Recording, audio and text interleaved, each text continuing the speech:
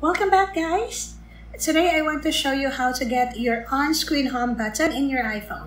So before anything else, if you're new to this channel, please do subscribe and hit the bell button to be notified whenever I upload a video. For iPhone 10, 11, and 12, the home button will replace with gestures.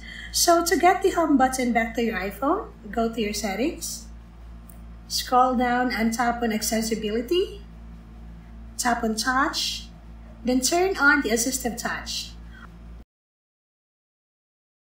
Or for a much faster way to access it, open your settings, tap on the search bar and type assistive touch. Finally, you have now your on-screen home button. You can also customize your home button. You can change any function or add additional icon.